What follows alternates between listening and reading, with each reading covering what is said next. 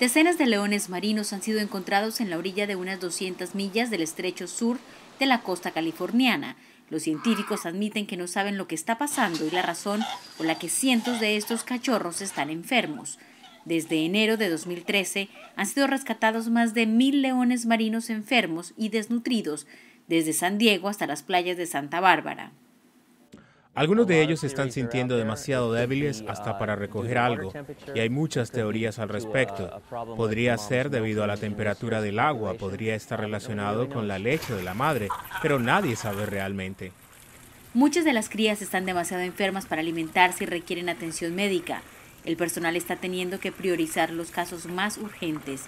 Uno de los mayores retos para el personal del centro es no permitir que los cachorros se acostumbren a su nuevo entorno.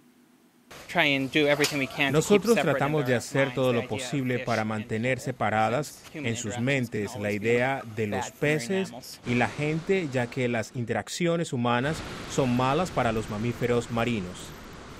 Los cachorros son devueltos al Pacífico una vez están recuperados, mientras que los grupos de rescate de animales esperan recaudar al menos 50 mil dólares para ayudar a los resguardos de estos animales, a la espera de que los científicos encuentren una pronta solución definitiva.